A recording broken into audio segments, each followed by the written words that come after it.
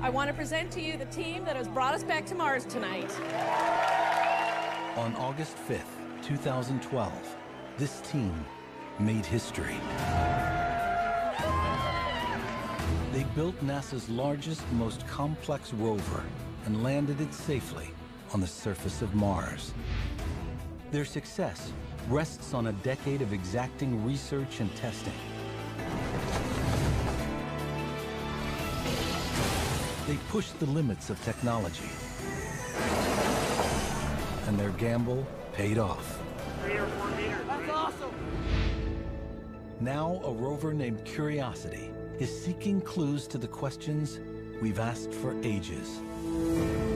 Did life ever take hold on Mars? Could it exist there now? Are we alone? I think it's the grandest of all scientific questions. Look at this! We've explored Mars before. Previous missions revealed a planet more dynamic than we ever imagined.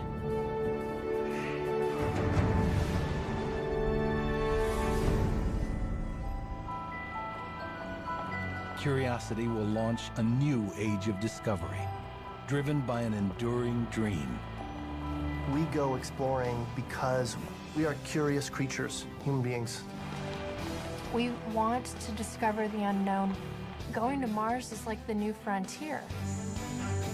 This will be the most exciting adventure we've ever undertaken on Mars.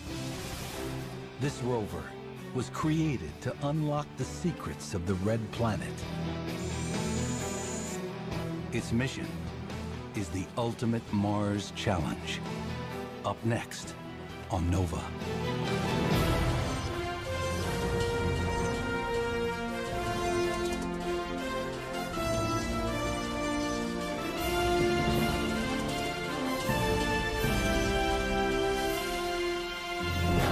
Major funding for NOVA is provided by the following.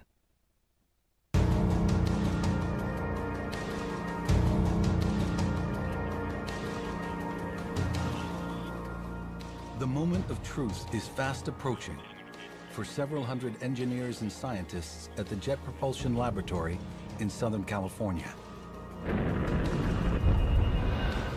Eight months ago, this team launched a mission to Mars.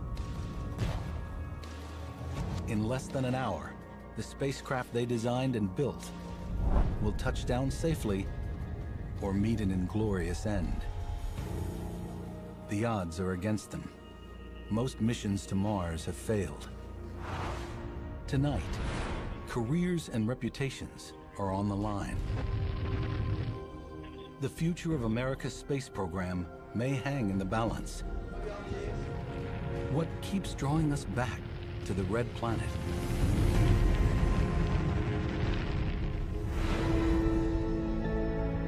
Mars may be only half the size of Earth, but it has grandeur. The largest known canyon in our solar system slices across its equator, roughly 10 times longer and three times deeper than the Grand Canyon on Earth. The tallest volcano in the solar system rises 16 miles above the Martian plain. Colossal craters punctuate the planet. Beautiful. But there's nothing welcoming about this place.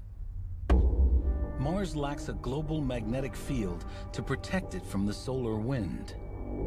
Blasted by radiation, its atmosphere, mostly carbon dioxide, is 100 times thinner than Earth's. Too thin to trap much heat. Temperatures can rise above freezing at the equator during the Martian summer.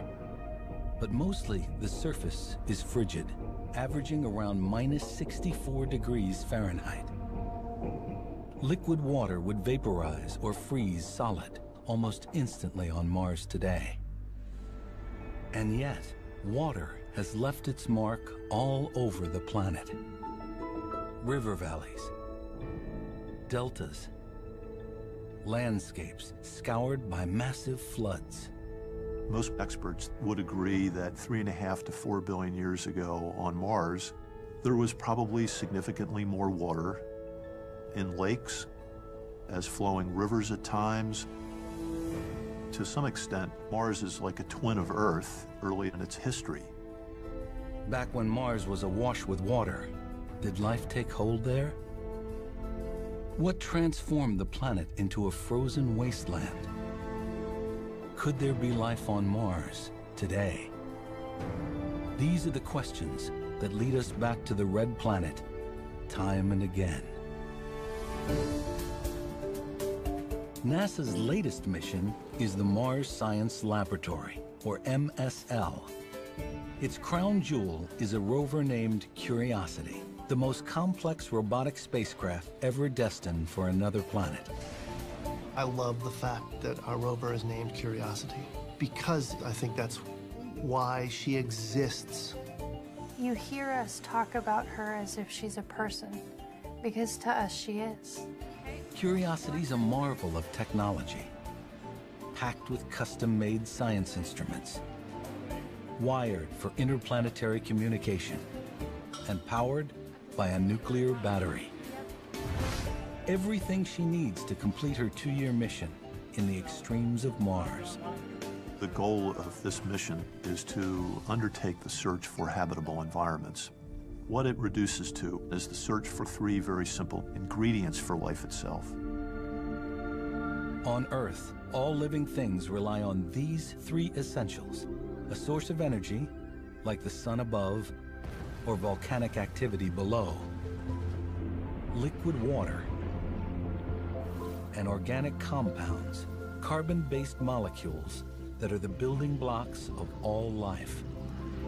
Has Mars ever had what it takes to support life? This rover is equipped to find out by analyzing the rocks and soils of the red planet.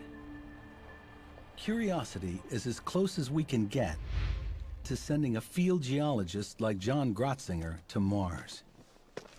When a geologist looks at a landscape like this on Earth, we're looking for a way to unravel what the early environmental history of the planet was. Now, on Mars, with Curiosity, we can do the same thing. But Curiosity carries tools that Earth geologists would envy. Every geologist has a hand lens to look at the grains that make up the rock. Curiosity has the equivalent, the MAHLI instrument. The Mars Hand Lens Imager, or MAHLI, can view rocks up close or from afar. We can focus the lens to different distances depending on what we're looking at, so it'll actually be better than this. Photography is really important because it creates a context for all of the other measurements and observations. Curiosity has 17 cameras. We've got telephoto capability, mid-range to near field, and we can also capture video. To collect rock samples, a geologist uses a basic rock hammer. We use it to get rock that is not exposed at the surface of the Earth for doing the geochemical analysis that tells us about the origin of the rock. Curiosity has more advanced techniques for tackling rock, like a laser that can vaporize a spot the size of a pinhead up to 25 feet away. A flash of colored light is released, revealing the rock's chemical composition. The rover also has a drill that pulverizes rock and collects the resulting powder. On Earth, we'd have to take the piece that we broke back to the lab to do the analysis there. With Curiosity, we bring the lab to the field. The rover's robotic arm feeds powdered rock and soil to two miniaturized laboratories inside the rover. One lab uses X-ray beams to identify minerals. The other tests for the presence of organic molecules that may have been associated with life. What's important about organic molecules is that you don't have to have an actual fossil of an organism left behind in order to detect the former presence of life. So we're not doing life detection, but we can look for these organic compounds. Curiosity's capabilities herald a new era of Mars exploration. This is the mission that really advances our knowledge of Mars in a way that we just weren't capable of doing um, in the past. We're taking 15 times more scientific equipment with us this time, and therefore the rover that drives that around on Mars has to be that much bigger. Curiosity weighs nearly one ton, more than twice the combined weight of all previous Mars rovers. And when it comes to landing on Mars, every pound matters. We knew we needed a new landing system. We've never landed anything this big on Mars before. All the successful landings have used the same techniques, up to a point. The vehicle is packed in a back shell with a heat shield to protect it from the friction of entering Mars' atmosphere. Then a parachute takes over. But the Martian atmosphere is too thin to slow the descent all the way to a soft touchdown. So what are the options? Giant airbags allowed previous rovers to bounce to safe landings.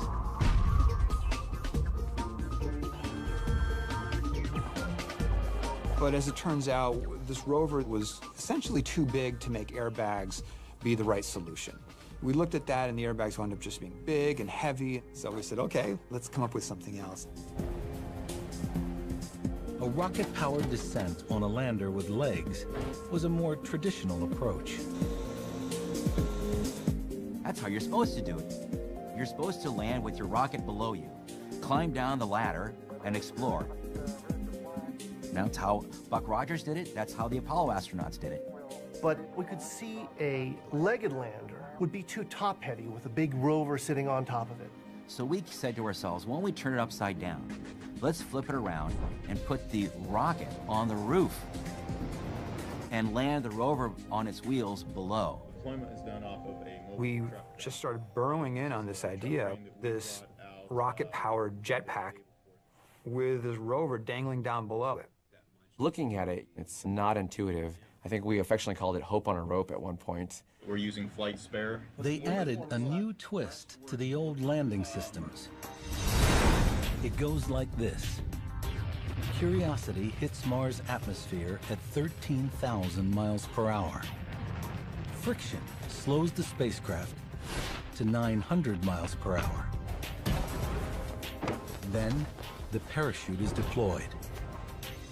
A mile above the surface, the descent stage drops away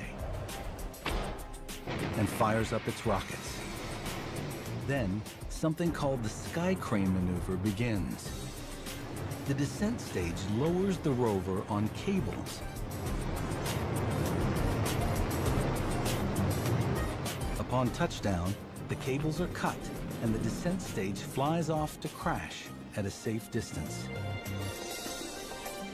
The entire sequence takes just seven minutes and requires perfect precision. Literally, millions of little things have to go just right, like a chain, where success is the bottom of the chain, or it's just game over.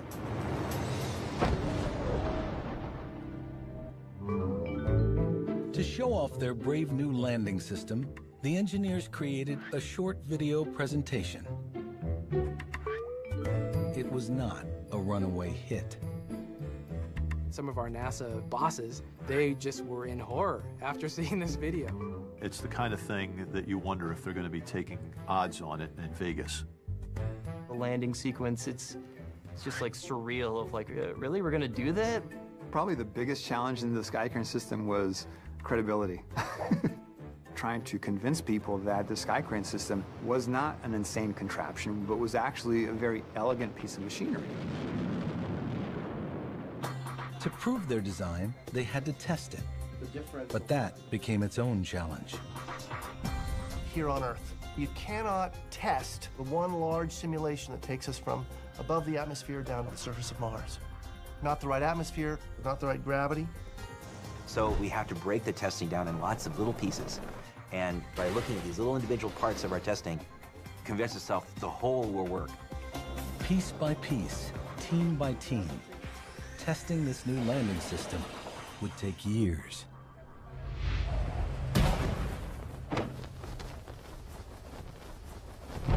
Curiosity's parachute would be the largest ever flown on another world. 51 feet in diameter, capable of withstanding 65,000 pounds of force.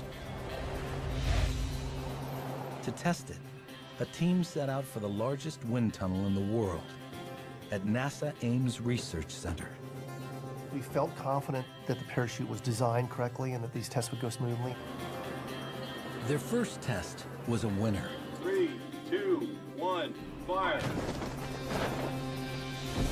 Parachute opens, a building shakes, and you, and you see this thing flying in the air, and it's it, you, the data, and everybody's excited, and it's tremendous. They moved on to test number two. Three, two, one, fire. Bad shoot. Oh. Catastrophic failure. Blew up, little pieces of parachute all over, and, and this bag of rags at the end of the tunnel. Parachute is, uh, it's a loss. It's almost like you lost a friend or something, you know, a fallen comrade in the wind tunnel. And it caught us by surprise. We didn't expect that. The team was devastated.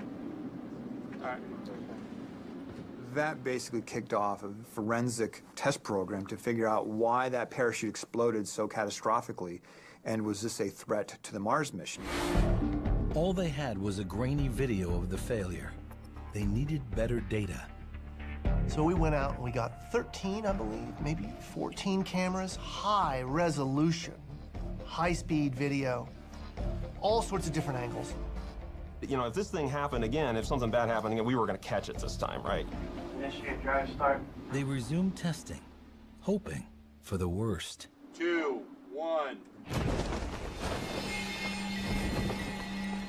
We ran the first test, parachute opened up, just as you would want it to, and we were disappointed. Good shoot. Yeah. And we test again. Two, One. Good shoot again, good shoot again and again. And we're like, well, geez, if we don't see this problem again, it's gonna be even worse. It's be better to capture it in high resolution so we can understand what was going on, rather than just have this one-off occurrence. Failure did not come easily. It took six more tries. Three, two, one. Everyone please stand by to bring down tunnel speed. We were all really happy all of a sudden now the parachute exploded, but we were even happier because all the camera footage that we had put in place caught the smoking gun. What they had captured was an inversion. It occurs when the edge of one side of the parachute slips through the lines on the opposite side. A pocket of fabric catches air and inflates, pulling the parachute inside out and tearing it apart. Could an inversion happen on Mars? The team had to find out. We have just as high a risk of a, an inversion. They studied the videos for months. That's this is much less organized than it is here. And then it dawned on them. In the wind tunnel, the parachute took much longer to inflate than it would in the Martian atmosphere. On Mars, when you pop out your parachute, a second later, it's open. The wind tunnel, it takes six seconds, seven seconds, eight seconds. And so, waiting to fill up this bag of air, the flapping of the parachute can allow bits of it to overlap and then be pulled through and invert. And the risk of an inversion was even greater because of another test condition. We were deploying the parachute sideways, so gravity is pulling the parachute down. That causes the top of the parachute to fall through the bottom of the parachute. This won't occur on Mars, where the parachute will deploy upward. It took a long time to figure out that this was an Earth test problem, not a Mars problem. It was a real nail biter. Since we've only got one parachute, you kind of got to get it right. The team was confident that on Mars, their parachute would perform according to plan.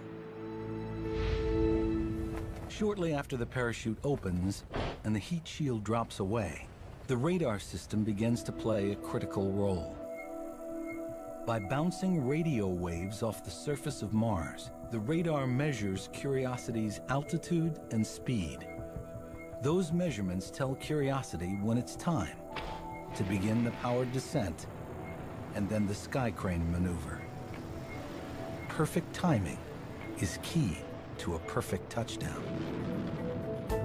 Curiosity's cutting-edge radar is composed of six high-power, narrow-beam antennas mounted to the descent stage.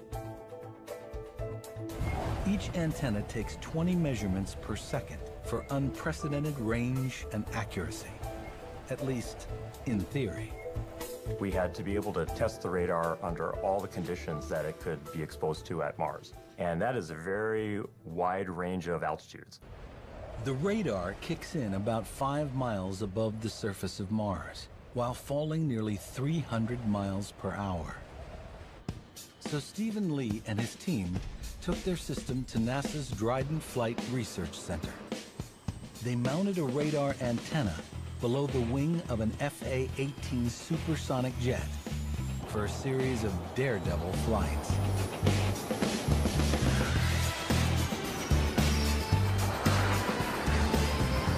The pilot would climb 50,000 feet, slow down, roll over, and fall from the sky.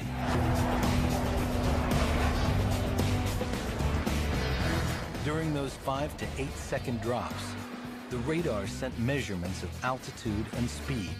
1-8 Alpha Foxtrot. The numbers were spot on. The team mounted the radar to the nose of a helicopter for tests at lower altitudes over the Mars-like terrain of the Mojave Desert. We flew over lava flows, we flew over sand dunes. We flew around a crater that has a lot of shapes that are very similar to what we'll see on Mars.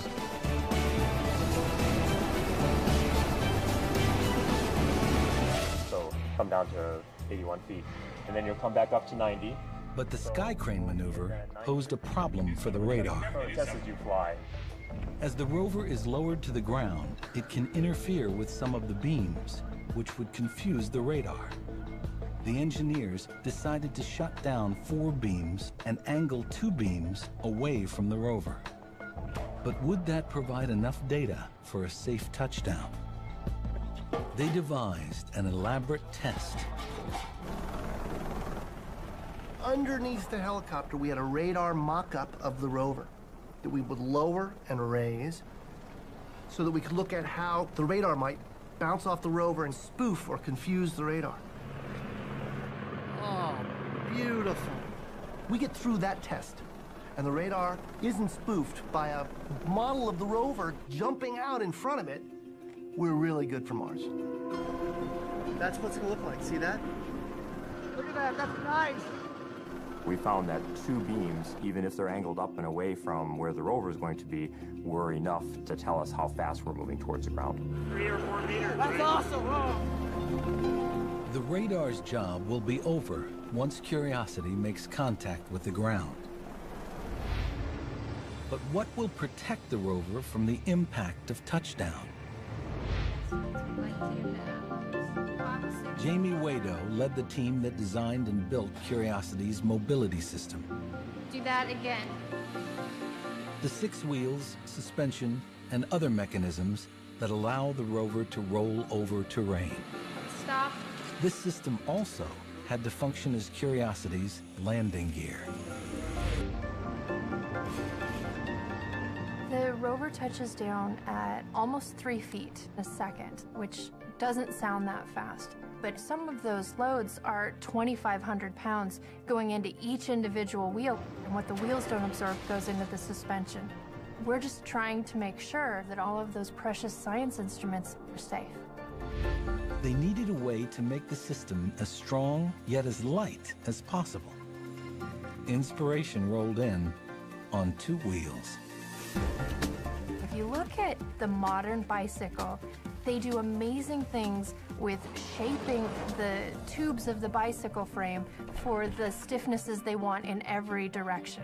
And so we talked to a bicycle company that makes titanium bikes, and they helped us build the suspension tubes. Curiosity's wheels were redesigned as well. We ended up taking a bicycle wheel and making it as strong as possible, taking that to the extreme and making it basically a Martian bicycle wheel. Curving titanium spokes and a pliable aluminum skin would make the wheels tough but resilient. Waydo and her team test their new system in stages. We're going to do our final countdown and then we'll test.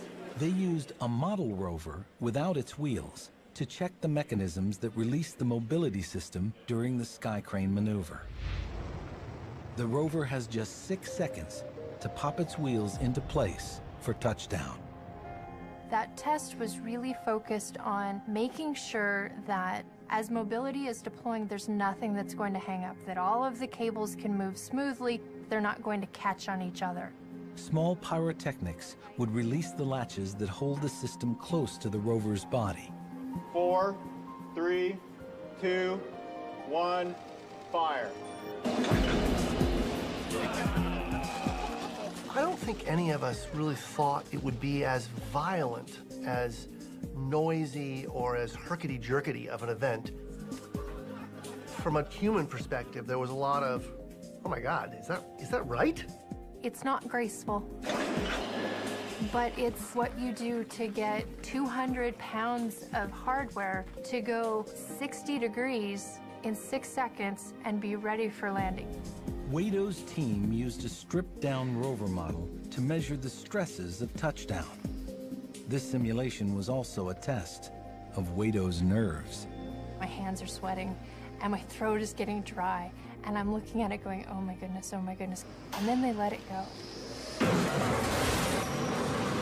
And she hit and it was so hard. And I was like, you can't do that to our baby. That's too much. That's too hard. It's like that old vaudeville joke, right? It's not the fall that kills you, it's the landing.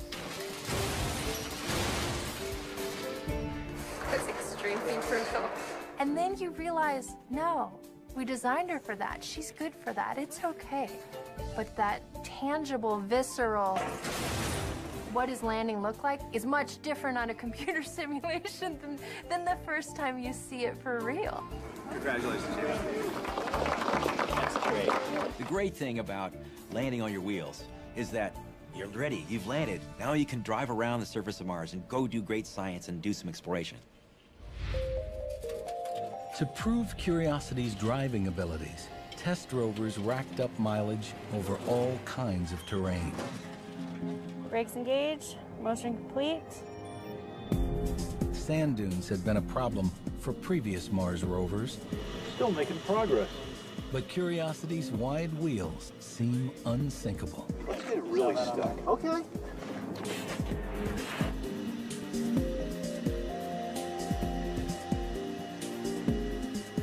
Good, Adam. This is what I was hoping for. What I'm learning here is that it's really hard for this thing to get stuck. That's why we're here. With each test, Mars seems closer than ever. We've been exploring Mars for half a century, but dreaming about it for ages. Life forms on Mars may have developed special ways of preserving their water content. We once imagined it might harbor strange flora and fauna, even intelligent life. Are they planning an invasion? Then, in the 1960s, space probes began to transmit the first close-up images of the surface. No cities, no oceans or forests. If there was life on Mars, it was microscopic. In 1976, NASA achieved its first landings on Mars. Two Viking spacecraft on opposite sides of the planet tested the soil for living organisms. They found no conclusive signs of life and not a single organic compound.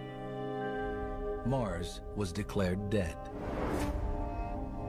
Then we kind of took a break, I think, because of that disappointment from exploring Mars for over a decade. When we returned to Mars, we pursued a different line of reasoning. If Mars ever had life as we know it, it would have needed liquid water. Those channels and valleys looked like they'd been carved by water, But what if some other force, like lava flows, had created them? NASA's exploration strategy became follow the water. A new generation of orbiters began to scour the Martian surface. The beauty of orbit is you can send a lot of instruments. These orbiters are pretty big. We've flown cameras that can actually measure the temperature of the surface, lasers that can measure the height of the mountains, and spectrometers that can map what minerals are present. So from orbit, we can map the entire planet and figure out where all the goodies are. One satellite pinpointed an area rich in hematite, a mineral that forms in water. If I was going to try to find where to land on Mars and look for water, this place is screaming, you know, come here. A rover named Opportunity was sent to investigate. Scores of tiny spheres were scattered on the ground and embedded in layered rock. The fact that these rocks are layered says that one possible origin for these is that they were laid down in liquid water. And we have on our rover a toolkit of gizmos that will tell us that answer. Opportunity determined these were spheres of hematite that had formed like pearls and oysters when the rock was saturated with salty water. We think we're parked on what was once the shore of a salty sea on Mars. That's pretty cool. Finally, proof of liquid water discovered on Mars. On the opposite side of the planet, Opportunity's twin, a rover named Spirit, explored a site thought to be an ancient lake. Spirit uncovered soil so rich in bright white silica that water and intense heat must have been involved in its creation. It seems ancient Mars may have bubbled with hot springs. The strategy of follow the water also revealed the presence of water on Mars today. An orbiter detected vast amounts of hydrogen, depicted in blue, just beneath the planet's surface. Hydrogen is often a sign of H2O, water. Could all this blue be ice? A lander named Phoenix tested the idea in the North Polar region. It dug a shallow trench and exposed mysterious white clumps. We found some very bluish ice-like material that has the science team arguing incessantly about whether it's ice or salt or some other exotic material. That is ice. In days, the clumps vaporized. It was water ice. Mars has enough near-surface water ice that melted, it would cover the planet in a sea at least 30 feet deep. There are even hints that liquid water may appear fleetingly on Mars today. In the southern hemisphere, in spring, dark streaks appear in steep gullies and extend downhill, then fade away in the fall. Some scientists believe the streaks may be caused by salty water flowing just beneath the surface. This big picture orbital view really has just revolutionized how we think about Mars. There are incredible mineral deposits, rocks that formed in lakes and hot springs. We even think there might be water that's flowing in little channels today. And recently, orbiters and Earth-based telescopes detected something surprising in the Martian atmosphere. Trace amounts of methane gas. On Earth, methane can be produced by geologic activity, but most is generated by microorganisms as a waste product. Today, Mars has no active volcanoes and no apparent life on its surface. So what could be the source of its methane? Geologic activity deep within the planet? Subterranean Martian microbes? For now, that remains a mystery, one of many that Mars still holds close. But this much we do know. Mars has had two of the ingredients for life. The energy of the sun and liquid water. Now, Curiosity stands poised to discover the third ingredient, organic molecules. But only if the rover manages to sample Martian rocks and soil. And that depends on the strength and precision of Curiosity's robotic arm. Robotic arm is, is extremely complex because we have five joints. We have what we call the azimuth joint, which is really just kind of, you can think of your shoulder moving back and forth. Then we have elevation, which again is like your shoulder moving up and down. And then uh, we have the elbow, which actually works like the elbow. It usually moves like that. and then we have wrist, which is just kind of like the wrist. It moves it about here. And then we have turret, which allows us to like rotate 360 in, a, in either direction. So the robotic arm, it really is an engineering masterpiece.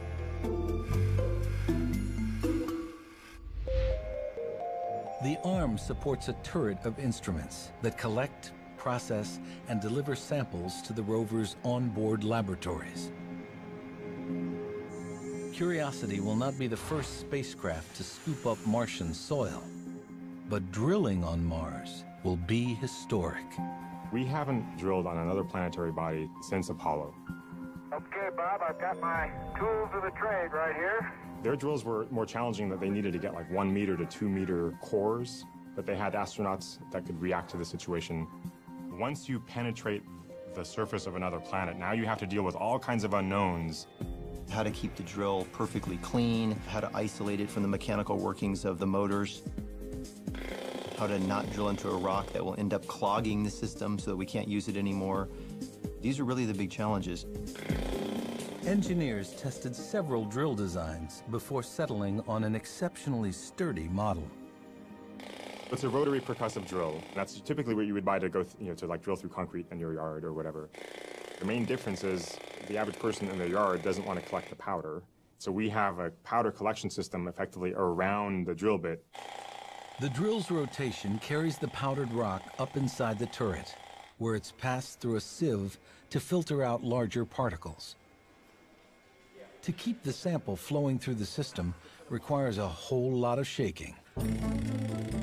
Most spacecraft, you try to keep pristinely clean, and then you try not to bang them up more than they have to. We, on purpose, shake the turret really hard, and we know we're going to get dirt everywhere. We have to get used to more violent hardware. It's more like a mining operation than a fine precision operation.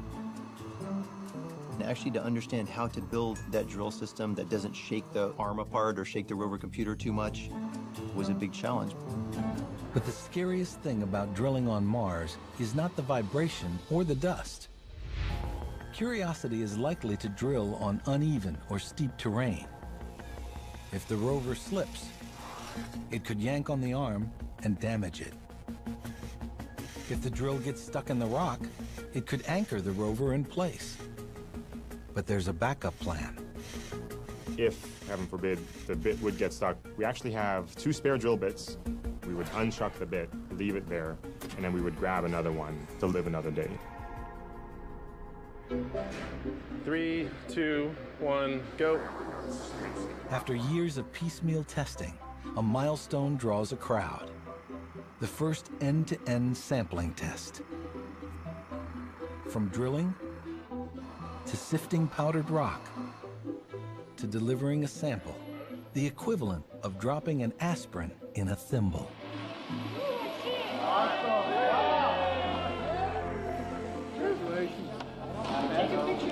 One of the kind of comedies of scale of this rover is we have a 900 kilo rover with a 100 kilo arm and we drop off a little tiny, you know, sample to each instrument. And that's enough for them to do their science. There it is. Awesome. A pinch of powdered rock may tell us whether Mars ever harbored the building blocks of life. So where should Curiosity touch down to gather that powdered rock? Previous missions needed a vast expanse of smooth, flat terrain for landing. Those spacecraft were aimed at specific sites on Mars.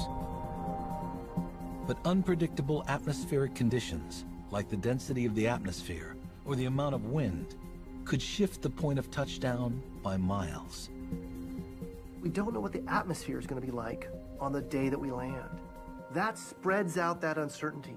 and means it's really hard to find a safe place that's safe over that huge amount of land. But Curiosity can achieve a precision landing through a technique called guided entry.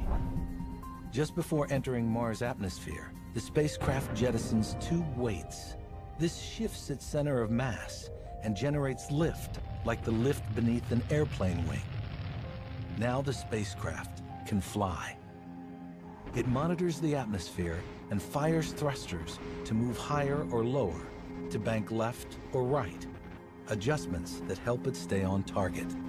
And that allowed us to shrink our footprint of where we might end up on the surface from more than 100 kilometers to something down around 20 kilometers or maybe even a little less. And that opens up a ton of places to land.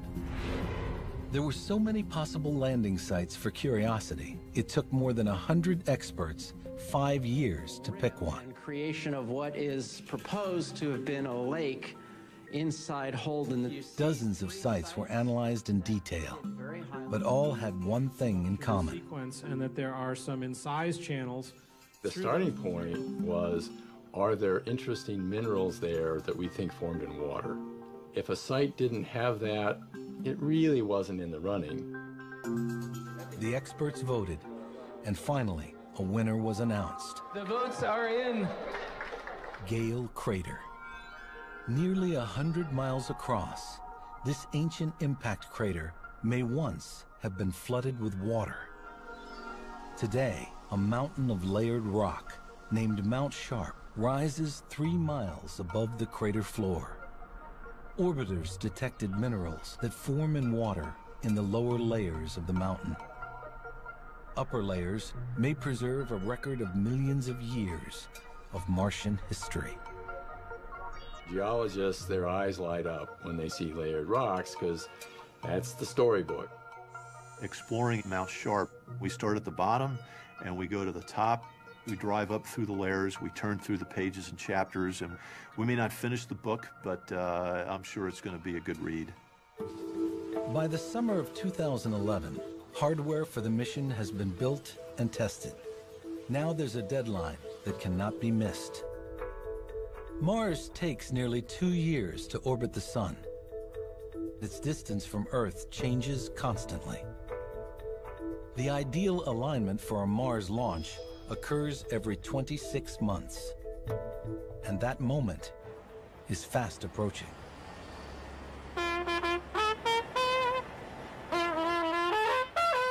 I have had a tradition of pulling out my trumpet as our spacecraft have left JPL.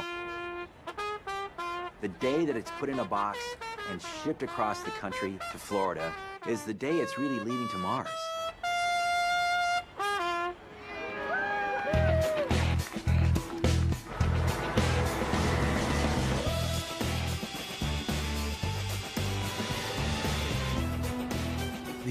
Engineers who built Curiosity take her as far as Kennedy Space Center and say goodbye.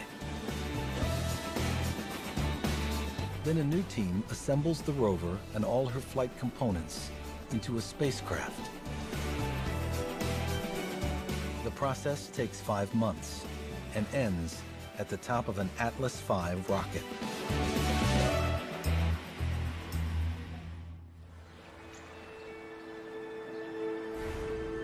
on November 26, 2011. It's all systems go.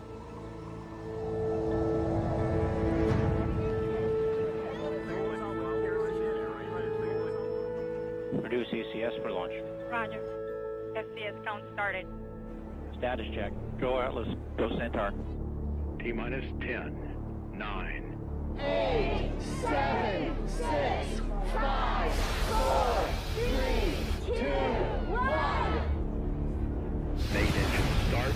And liftoff of the Atlas V with Curiosity.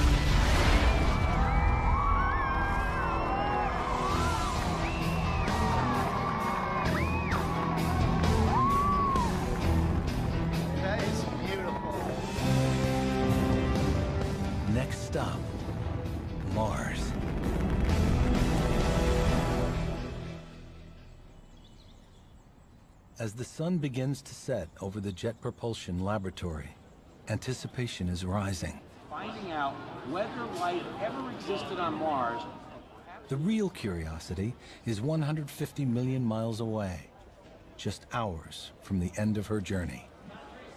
For the members of the mission team, it's a night of mixed emotions. I can't even tell you how excited I am. I just want to remember every single moment. Mostly confident, but there's still that little knot of fear in there. Spend 10 years of your life working on one project and it either works or doesn't. There's really no in between. In a few hours, hopefully, there's a new rover on the surface of Mars. It's, uh, it's kind of an emotional time, as you can see. We're wishing for the best. We feel that we've done everything to deserve it, and now it's in the hands of the fates. Engineers can still communicate with Curiosity, but during the seven-minute landing sequence, the rover will operate autonomously, based on pre-programmed commands. That's because it takes 14 minutes for signals to travel between the Earth and the rover.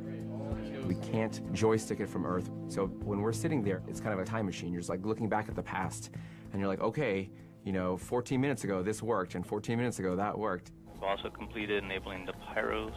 So it's a very surreal feeling knowing that it's all been finished, but that you still don't know what happened. In moments, Curiosity will hit Mars' atmosphere. Seven minutes later, one way or another, the rover will be on the surface of Mars. Coming up on entry. What the team calls seven minutes of terror begins now. Start of guided entry. Vehicles continuing to decelerate. We're down to about Mach 2. Parachute deploy. We are decelerating. Heat shield has separated. We're down to 90 meters per second at an altitude of 6.5 kilometers descending. We are in powered flight. Standing by for sky crane. Sky crane has started. Descending at about 0.75 meters per second as expected. Tango delta nominal. RIMU stable. RIMU stable. UTIP is good. Touchdown confirmed. We're safe on Mars.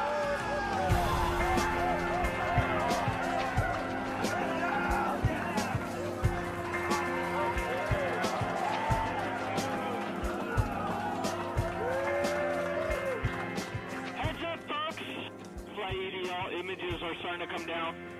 Stand by for images. Suddenly, they start receiving postcards from Curiosity, It's the real. It's the real. the equivalent of hello, I'm fine. Wish you were here. And in a way, the team is there, basking in the sunshine of a Martian afternoon.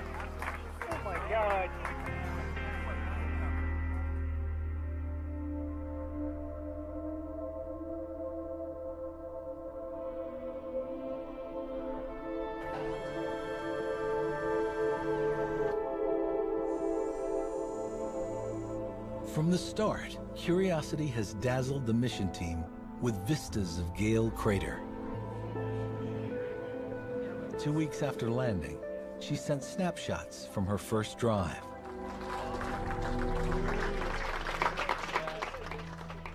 But mission scientists were intrigued by photos of scour marks created by the blast of the landing rockets. The thrust was so forceful, it blew the soil and the pebbles away, which gave us an opening to the bedrock. We saw that it was composed of fragments of different kinds of material. So the team began to wonder, gosh, maybe it was kind of a cemented material that had to do with water. It was an exciting clue because the exact nature of the terrain where Curiosity touched down was not known. Orbital maps suggested water had flowed through a canyon in the northern rim of the crater, carrying rocks and sediments that spread out on the crater floor in what's called an alluvial fan. But did that fan extend all the way to where Curiosity landed? Five weeks into the mission, the rover sent back pictures of an outcrop that stunned the science team.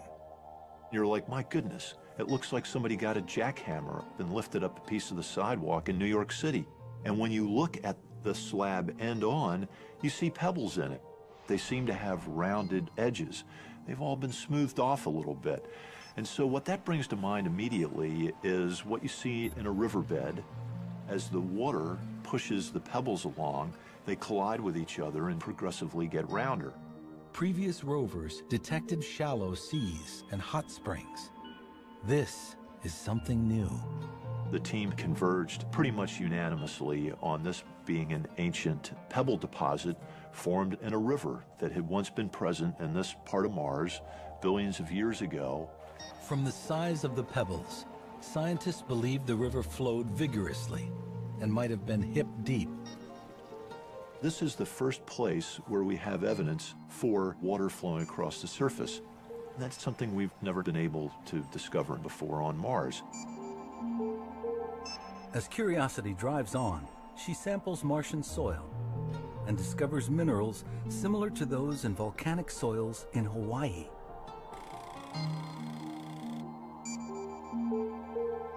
In her first sniffs of the atmosphere at Gale Crater, her sensors detect carbon dioxide, but no methane. Perhaps methane on Mars is more transient than expected. More tests may tell. But Curiosity's ultimate destination, perhaps a year's drive away, remains Mount Sharp, with its foothills of ancient layered rock. When you see those foothills, it looks like a familiar place. It's like you'd almost come home in a way to a different part of the Earth, except this is Mars. You may as well be standing out in the Mojave Desert or someplace in Utah. It just begs the question why shouldn't Mars have life just like Earth? And really, that's why we're here. That's the question we're trying to answer. We have followed our curiosity to another world. Who knows where it will lead? Our journey of discovery has just begun.